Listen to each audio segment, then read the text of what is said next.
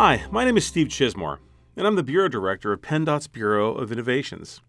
It is my pleasure to host a series of podcasts celebrating the 10th anniversary of Pennsylvania's State Transportation Innovation Council, or STIC for short.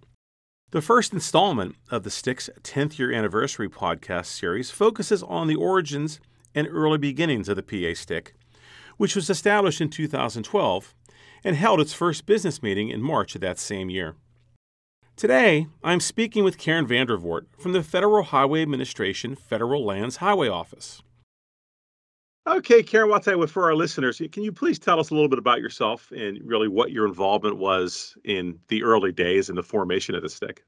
Sure. Uh, a little about myself. So, I don't want to date myself, but it started way back 30 years ago. Um, I came onto the scene here in the Pennsylvania transportation industry, um, honestly, under the uh, direction and leadership of someone called Renee Sigel. So that name may come up in our discussion here later. So I was actually an intern for Renee back back in the 80s. Um, and that really kicked off my whole career. And I, I, say that because I'm still here. I'm still here in central Pennsylvania. Um, uh, went to school here, got married here, still live here. And I think that goes a lot to say uh, about the success of the Pennsylvania STIC is that a lot of people were here for the long haul and we all knew each other. We all had um, relationships. So anyway, my career kind of bounced around. Um, I was the environmental program manager for many years um, in the Pennsylvania Federal Highway Division office. Then I changed jobs. Renee Renee became my boss again and changed jobs to be her management analyst, kind of special assistant. And then um, in 2010, something happened. Um, a guy by the name of um, Governor Corbett elect uh, approached my husband, Barry Schoch, and asked him to be secretary. And that same week, I found out I was pregnant with twins. So obviously, Barry said yes, and um, the rest is history to his his uh, his all his good work there at PennDOT. And I went on to an extended maternity leave. So when I came back, Renee said, Hey, there's this thing that Federal Highway Headquarters wants to throw out. It's called um, this Every Day Counts program. Do you want to take that? I'm like, Okay, um, sure. And we often kid, um, Renee and I, and, and later on, she she became my boss again and she just retired last year. But we kid that she put in my my duties other duties as assigned. So this fell under other duties as assigned this little program called Every Day Counts. So i took it on and um, from there became another push from federal highway headquarters to have a state transportation innovation council within each state in order to help push out the Every Day Counts program. So she's like, "Hey, do you want to take the the formation of this thing called a STIC Sure, I'll do that. So that was really the beginnings of it. She handed me that assignment, um, and the way Federal Highway had looked at it, they weren't overly prescriptive. They wanted each state to design their own STIC as their STIC, um, their state wanted to design it and include whomever they wanted to include. So myself and at the time Chris Riley and Rich Heineman, we we put our heads together and try to figure out a structure that would be um, sustainable. And here we are, ten years later. So maybe we did a good job. So, yeah, I think obviously you guys did because you know exactly here we are 10 years later which which is just fantastic. I mean you know, I, I remember the early days of the STIC. I remember that very first meeting up in um, 8n1 yes. and it was like well let, us see how this goes and it, it's just amazing that it's still thriving. Right right so it's it's been great and i um you can't see me but i have a huge smile of pride on my face right now to as you should. be here talking with you so Yeah, and and I don't say I did it. We did it. Um, we all did it, and we've done it for a number of years. So it's been great. It's been a great ride. Well, Karyn, you know, given the Federal Highway Administration involvement, as well as, you know, of course, uh, PennDOT's, what was the original vision for the STIC, you know, as, as defined here in Pennsylvania? Yeah, well, Federal Highway, as I said, they had this um, idea, and it was uh, Greg Nadeau's idea when he was um, deputy administrator under Victor Mendez. And I, I toss out those names because those gentlemen also moved up in the structure of Federal Highway and actually US DOT. And, and that kind of plays into the longevity of STIC overall. Um, but it was Greg's idea to have this network uh, of cross the board um, collaboration with all partners. So in 2011, you have to put us back in that historical context. There was something else going on here in Pennsylvania which uh, Secretary Schoch was very instrumental in achieving, and that was getting the industry together, which, given our histories and our relationships and our you know, our bond uh, as we've worked together for so many years, all of us across the industry, um, they really came together in order to advocate for um, increased funding, which eventually became Act 89. So all that was going on at the same time that Federal Highway was pushing their vision. Um, Secretary Schoch had his mission as well, and it all you know had commonality between um, being innovative for efficiency and effectiveness sake and collaboration. So the two really fit hand in glove nicely together. Um, it brought together um, many parties, like Greg Nadeau wanted. Um, we created our STIC to involve uh, other state agencies right of way, you know, beyond the turnpike, but um, DEP, DCNR. We involved uh, PSATS to represent the local um, governments, and we brought in academia right away. We brought in Penn State, Carnegie Mellon, and Pitt to give their perspective. We brought in um, you know, PACA and, and the asphalt and the concrete industry because we all felt everyone had something of value to contribute. Um, we all wanted to hear their voice and their ideas that we could help push out um, this STIC concept and, and really strengthen this network of communication. Uh, sound it sounds fantastic. I mean, it, it's it's kind of enlightening for me as well because like i said although i was at some of those early meetings it's it's great to hear some of the players that were on the field with us karen what were some of the largest hurdles faced you think in, in creating the pennsylvania stick i think probably every state um, has this trouble too and, and, we do hear from many uh, now from a federal highway perspective headquarters perspective we do hear many states um, have this challenge and it's funding. There's not necessarily, I, I don't, maybe there's one or two states, Utah maybe being one, that has carved out of their annual budget to fund something like this. There's no new money to do that. Um, so in the beginnings, Pennsylvania STIC had no no new money, um, but everyone had this new duty to do, other duties as assigned, and so that that's always been a difficulty. Um, no no additional people to help uh, and no new funding, and so it's there's that, and then you know maybe this attributes to the the framework that we set up in the beginning, but it's really tested the sustainability, and that is the change in administration.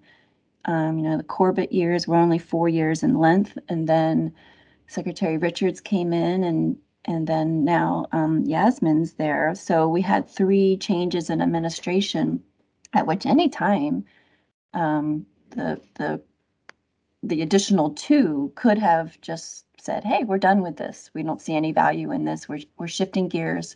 We're putting our focus and priorities in in another in another area." But that didn't happen. So we had um, that that was a challenge, but we that was always in the back of my mind, but we were able to prove the value of our STIC. Um, Karyn, what advice, excuse me, what advice would you give another state or even a similar PA state agency mm-hmm. if they're trying to establish uh, kind of a similar innovations council?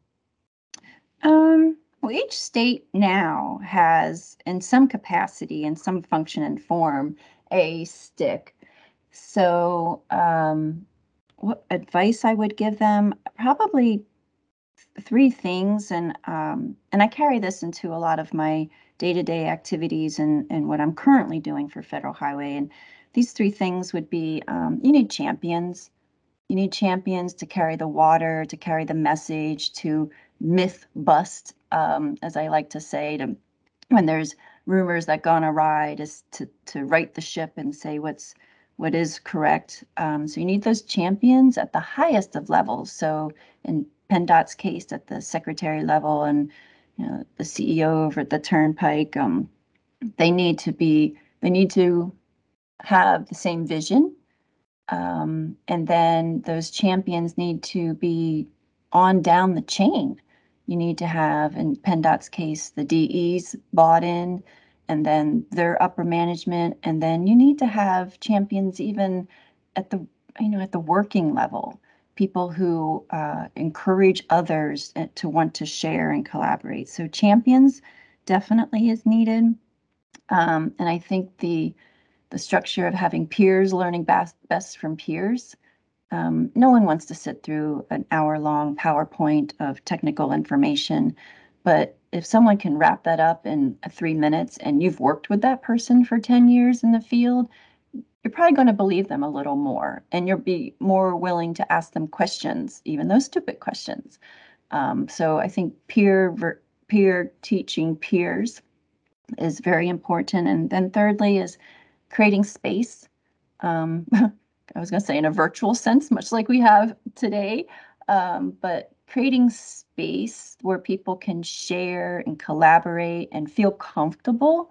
They're not um, they're not overly challenged or reclusive. They're willing to share their stories and they're willing to share their successes and more so their failures because from there then we can all learn. So I'd say those three things: champions, peers, and space, creating space. Sounds great. This next question is going to make you actually put on the uh, the, the way back hat, so to speak. So, uh, can you tell us what was your most memorable moment uh, during your involvement with this STIC? I would say uh, three things really stuck out in my mind. It's um, we went to District Four for what we call these innovation days. So again, you got to put yourself back in the historical context. Um, the we weren't getting a lot of training across districts. So we went to them, and these innovation days uh, brought technology and communication to the districts. And District 4, I know, met us with a bunch of skepticism. And when they came into the room, we were pumping the music. We were playing, you know, Highway to Hell and and Life is a Highway, and we were just um, off the charts excited. And in comes the, no, I'll say like the maintenance crews um, but by the end of the day, we won them over and they were having fun, they were learning, um, they were talking to each other, having fun with us. So, likewise, in District 9, we played a game with them called Innovation Town. They just had a lot of fun. And then um, another one in Western, we we pulled together the districts of 10, 11, and 12 and had an innovation day. And um, we always ask for feedback at the end and the thank yous and the um, congratulations and best training ever uh, kind of feedback that we've received is just um, very memorable. And we know we touched a lot of people in a good way and um, made them a little better off by knowing a little bit more than they knew before they came into the room um, on those innovation days and it was always the goal you know always it always um, just striving to get the information out and to win folks over. And and you know and clearly i know i've said it before but clearly you've done that. I mean here we are 10 years later. Karyn kind of a second part question to what i just asked but do any innovations particularly stand out to you in terms of benefits to pennsylvanians? Yeah and, um, yeah. And, yeah why is that? Um, i think one was the TIM um, traffic incident management um, money that we put towards that training and Todd Lease over at Turnpike has made that such a wonderful program. So just the element of safety um, is always good. So that training, I think, has won so many awards, and I, I believe it got some of its first seed money through the Pennsylvania STIC. The Salt and Snow Academy, um, which really showed the diversity of how the STIC leveraged their their resources and um, STIC incentive funds, which is $100,000 that every STIC can go after every year. So the Salt and Snow Academy uh, training was given to PSATS. And um, again, I think it, it really helped them budget um, their snow maintenance, salt and snow. So those three things really came to mind. Uh, thank you, Karyn. You know, Karyn, one of the, one of the great things about the STIC is it brought together a lot of various entities. You know, you brought together PennDOT, you brought together the Turnpike, uh, the transportation industry, a lot of non-traditional partners. Yeah, why is collaboration so incredibly important in helping to advance innovations? I think because um, because through collaboration, there's no surprises. No one likes to be surprised, um, especially on up the chain. And um, the STIC council gave people that space to find out things ahead of time. There was, um, and that's up and down the, the, the hierarchy within PennDOT or the Turnpike and, and across the industry. So there were no surprises.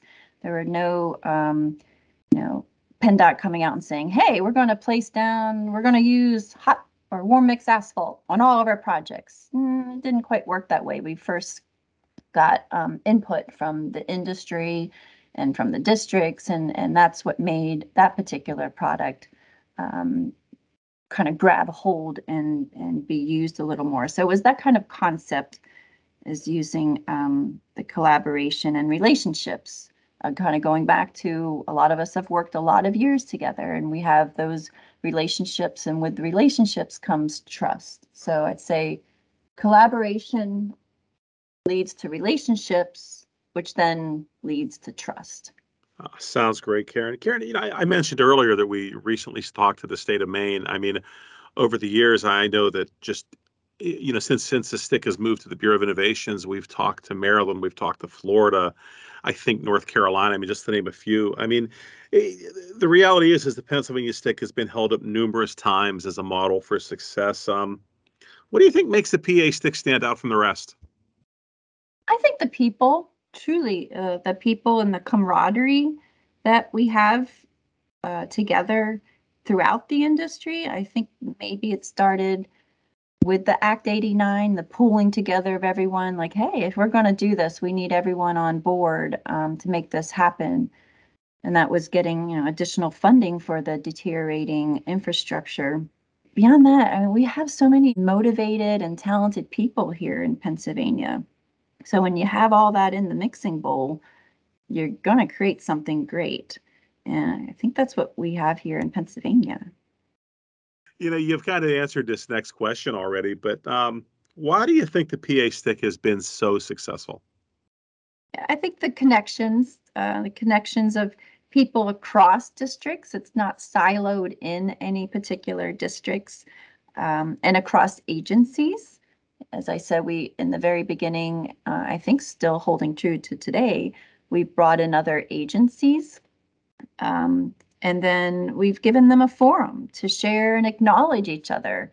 Uh, that's one thing we also build in the early years of the formation of the STIC is not only creating the space for people to share their successes and failures, their stories, but also to acknowledge each other. Um, you know, I often said, hey, we want to give uh, one of our purposes here is to give rising stars within the network of PennDOT and, and beyond a, a chance to shine.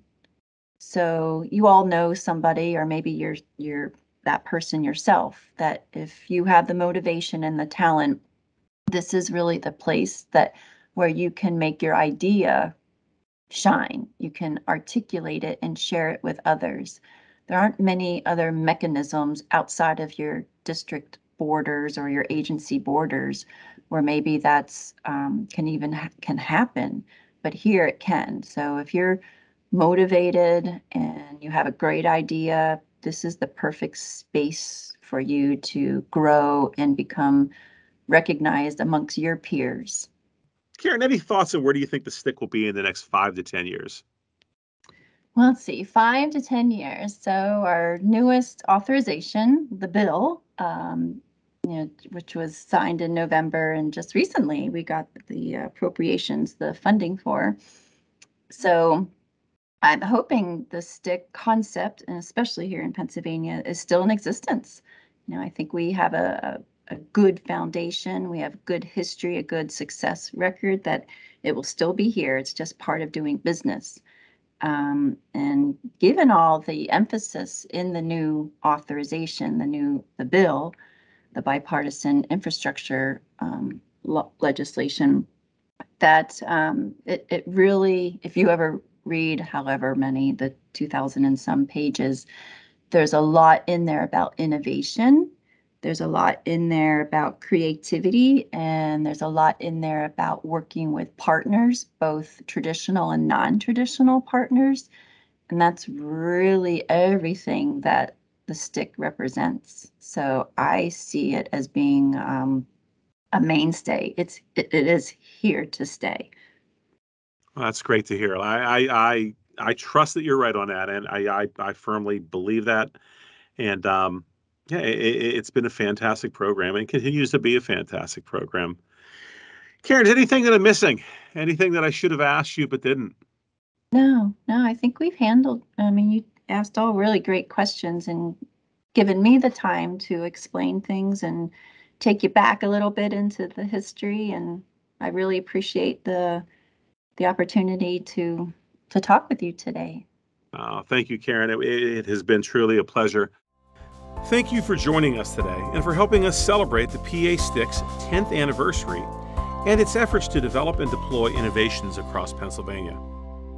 Visit www.penndot.pa.gov slash stick to learn more about the PA STIC and how we are innovating transportation in Pennsylvania.